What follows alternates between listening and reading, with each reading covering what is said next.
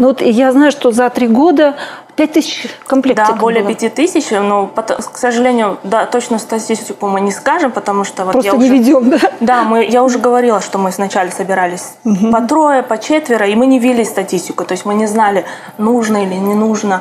А потом мы как-то все активиза... стали более активно к этому подходить, и еще как бы сарафанное радио, спасибо вот социальным сетям, СМИ, и люди там о друг- мы узна- узнавали о друг друге больше и больше и больше, и вот так а, э, уже сейчас мы уже ведем статистику, и, еще, и вот можно назвать, что более 5000 вещей у нас уже связано это за три года. Плюс еще можно сказать, что раньше, если мы раньше только вязали носочки, в этом году мы уже, как-то сказать, э, более стали улучшаться. Мы э, начали развиваться сами вот внутри клуба, и мы вот вяжем вот такие жилетики. Ну, То есть есть такие размеры, которые нам, ну это тоже стандартные размеры. Это нам, вот спасибо врачам, которые нам дают такие размеры. Есть такие шапочки размером ну, вот, С кулачочек, с да? кулачок, да. Ну, это если вы еще увидели разницу этой шапочки и этой шапочки. А, вот недавно мы отметили 17 ноября, отметили день рождения единодошенного ребенка, и тогда нам врач, а, врачи сделали замечание, что у таких деток а, должны закрываться глаза. То есть вот эта светотерапия, она не должна падать. И вот мы придумали такую шапочку, что она будет вот так надеваться и вот так будет опускаться, когда мы будем И зак- глазки, глазки будут закрыты, ребеночек Да. будет спокойно спать, Да. свет его не будет раздражать. Да, вот. И, ну и вот такое вот одеяльце, тоже вот размер 50 на 50. Вот все удивляют, а не маленькая или, да, то есть там.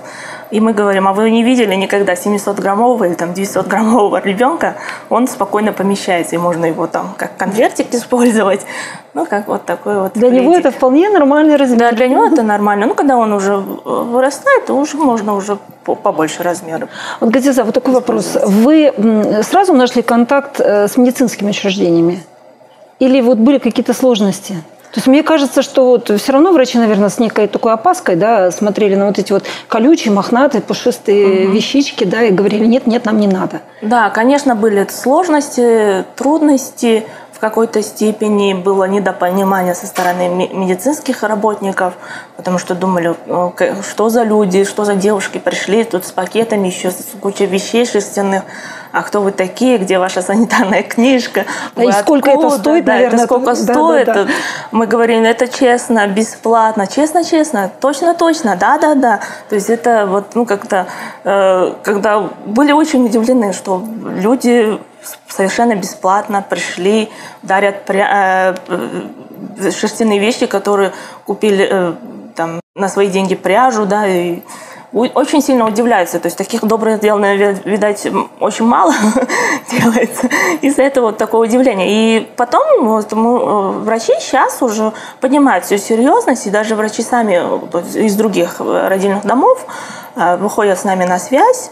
То есть и в каждом городе, в каждом селе, ну вот, ну не сказать селе, в каждом районном центре в областном есть такие детки, которые рождаются, которые им необходимы. И то есть и уже врачи знают, что есть необходимость, что есть, э, есть такой клуб, и они могут напрямую выйти с нами на связь. То есть мы тоже идем навстречу. То есть если раньше было немного трудно, сейчас у нас хорошо. То есть Ну вот вы вот и шерсть, и шерсть сами приобретаете, сами вяжете. Но это, наверное, тоже непросто, это тоже деньги.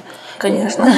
Ну вы вот, м, э, как сказать, э, вот могу я, например, вам шерсть подарить? Конечно. Вот вязать я не умею. э, Есть такие люди, которые вот э, не умеют вязать, но узнают о деятельности клуба. Э, причем мы собираемся каждую неделю, ли- либо раз в две недели в общественном месте. Это и кафе, это и торговые дома. Летом мы собираемся в парке. Почему мы собираемся в общественных местах? Потому что, чтобы люди знали. И когда люди подходят, интересуются, мы им все объясняем, они говорят, а знаете, а вот я не умею вязать, а, вот а может вы нас научите? Хорошо, без проблем, садитесь. И мы учим людей, и эти люди спокойно сейчас могут в целом э, связать большой комплект.